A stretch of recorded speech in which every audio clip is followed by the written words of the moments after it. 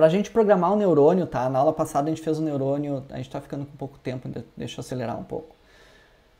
Um, a gente fez um neurônio uh, usando o SimBrain, certo? A gente fez as portas lógicas usando o SimBrain, tá? Aqui no Python a gente também pode fazer isso, tá? A gente pode, para a gente não falar em orientação a objetos agora, de repente a gente podia tentar fazer isso numa função, tá? De repente vamos começar tentando fazer uma função, depois a gente vai para orientação a objetos, tá?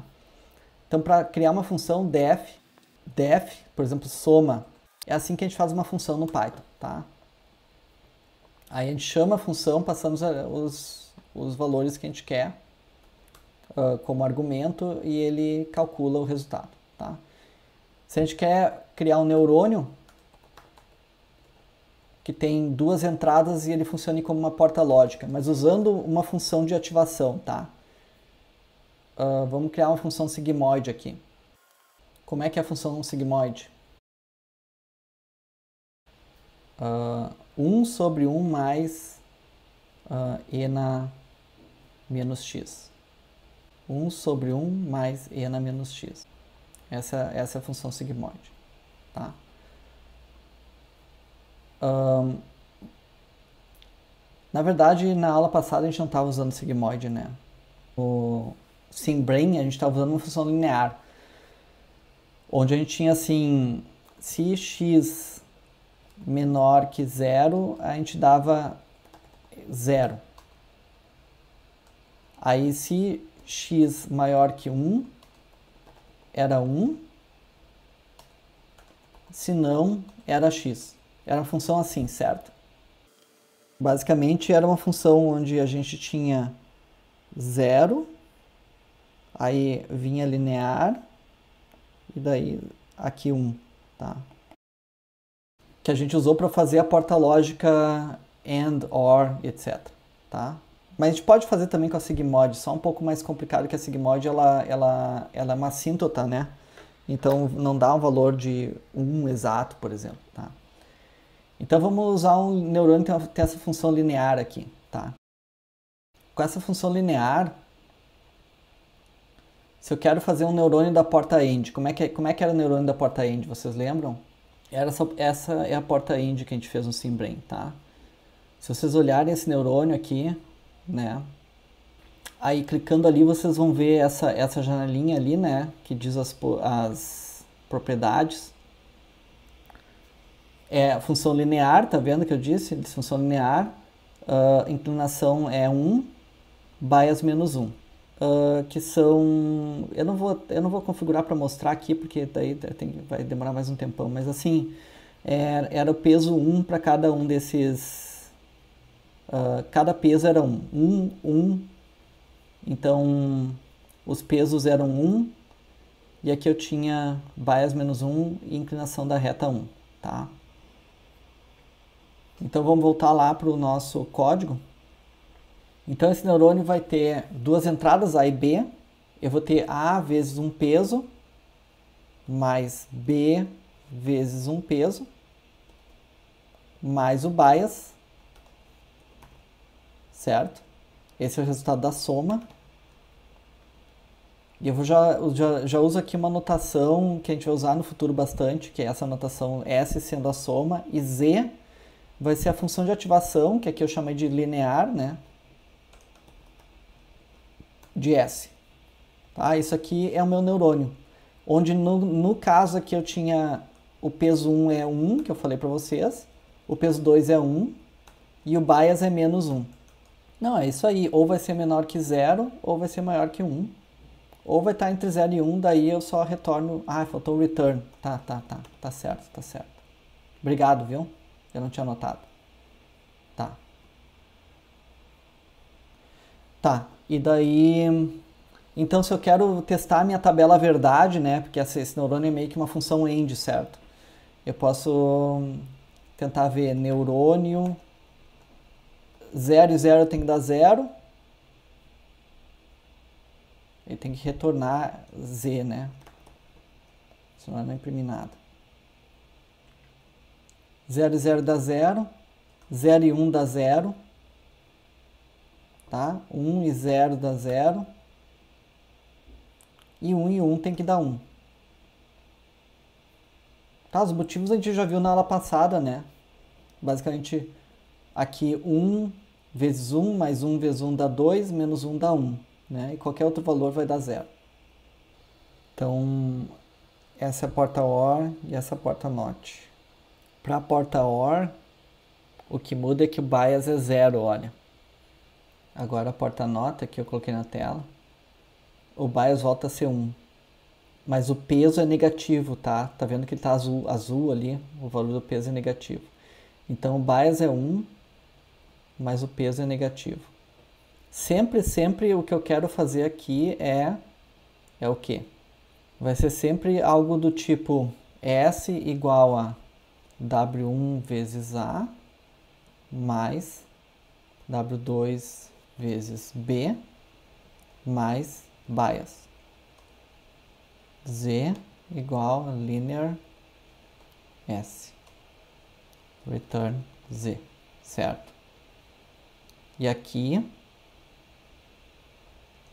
aqui eu vou ter S igual a W1 vezes A mais bias. Z igual a linear S. Return Z. Tá? É só colocar o valor de W1 e W2 aqui e bias e aqui colocar W1 e bias. Tá? Então aqui no not peso menos 1 e bias é 1.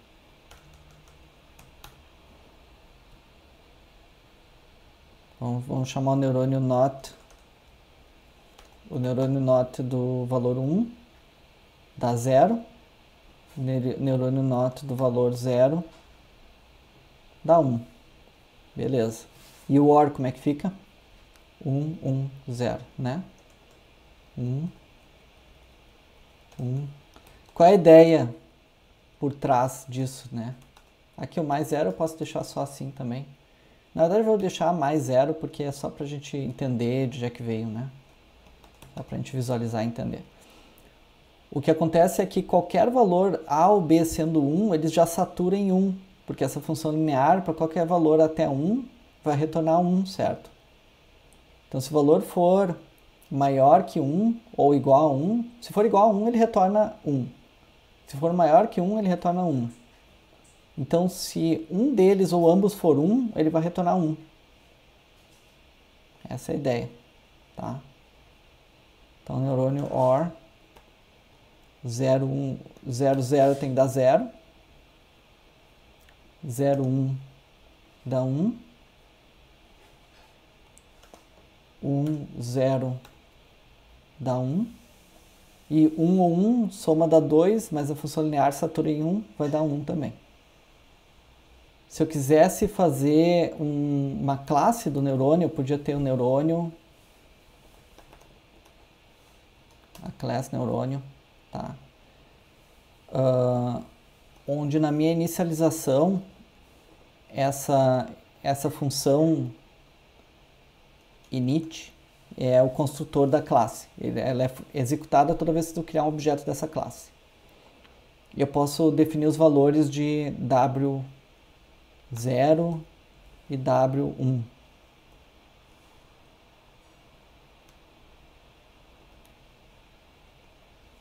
Digamos que tu cria um neurônio e tu passa os valores de, dos pesos, tá?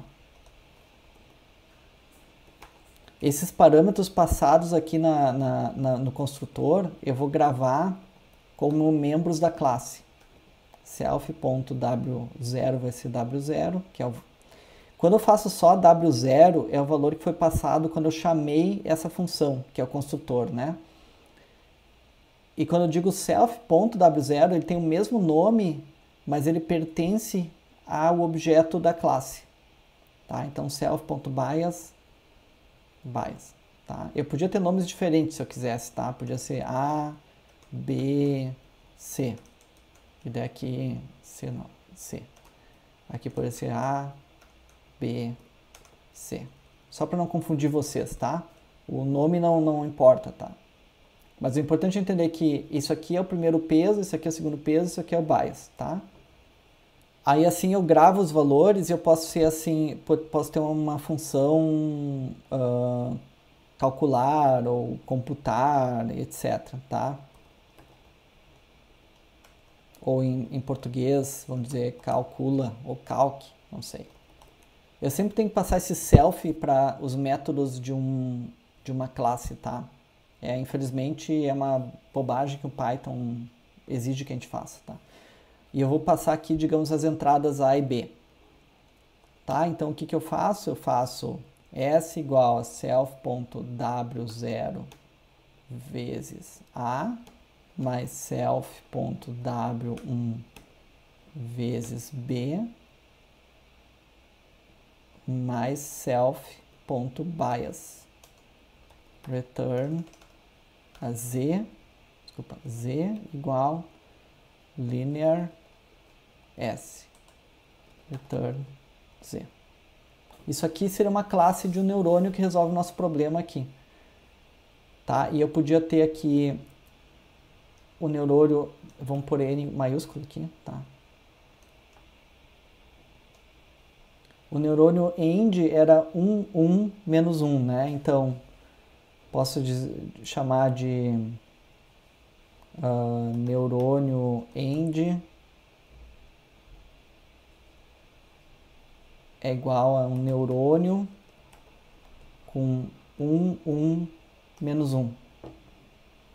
É o peso 1, 1 e o bias menos 1. E o neurônio OR vai ser um neurônio com ali tá, tá aqui embaixo agora, né? 1, 1, 0. Eu estou construindo um objeto da classe neurônio, onde eu estou passando que o peso vai ser o, os pesos e o bias vão ser esses valores ali, que eu estou passando como parâmetro aqui. Tá? Esses parâmetros dentro do parênteses é o que vai essas variáveis vão receber. Exceto o self que a gente ignora daí na hora de, de criar, uh, de chamar a função, no caso aqui o construtor, né, que constrói o objeto da classe. A gente está ignorando o primeiro elemento, tá? que é esse, esse self ali. Tá? E o neurônio not pode ser menos um. Como é que era o not? E 1, né? Só que aqui eu não tenho nada para o segundo elemento, vai ter, vamos usar só o A. Tá? Então eu só uso a primeira entrada do not. Tá? Eu posso apagar isso aqui. Então eu posso fazer um laço, vamos colocar as entradas da minha tabela verdade. 00 zero um um zero um São todas as entradas que eu quero testar. Deixa eu criar os elementos. Espera, eu tenho que criar aqui a classe, criar os elementos. Aqui eu determinei minhas entradas, tá? E daí for a e B em entradas. Lembra que a gente fez no início da aula? Eu posso imprimir a saída, né? Eu posso fazer minha tabela verdade. Print, print A, B e a saída do neurônio aqui de cada neurônio, né? Vamos por assim A igual a tanto, B igual a tanto, uh, end, vamos ver o valor do end, que eu vou chamar o neurônio end.calc AB. E eu posso ter OR, eu vou chamar de o neurônio OR calc AB. Eu posso quebrar a linha usando essa barra aqui para vocês, para caber na tela, né? E eu vou ter uh, o not. Neur not. Aí A, e aqui o B eu não preciso colocar nada porque é só o not de A, tá? E se eu executar isso aqui, deu errado, faltou uma vírgula aqui. O que mais? Aqui, ponto calc. Tá? Então, A0, B0, end da 0, or da 0, not da 1. A0, B1, end da 0, or da 1, not da 1. Nota A, né? É o nota A. Uh, aqui, A1, B0, end da 0, or da 1, not da 0. E A1, B1, end da 1, or da 1 e not da 0. Ok? Por que, que uns deram uh, ponto flutuante, outros não? Eu não sei, tá? Deixa eu ver aqui. Por que, que esse OR deu... Eu estou encucado que esse OR aqui deu um 1 sem ponto flutuante. Eu acho que ele caiu nessa condição aqui. E aqui eu não estava colocando ponto flutuante. Não vai ser um problema porque na, no Python 3 isso aí funciona bem tranquilo. Uh, toda vez que uma divisão de inteiro por inteiro dá um resultado fracionário, né, ele retorna um ponto flutuante. Tá? Então, o fato de eu ter colocado inteiros aqui não atrapalha.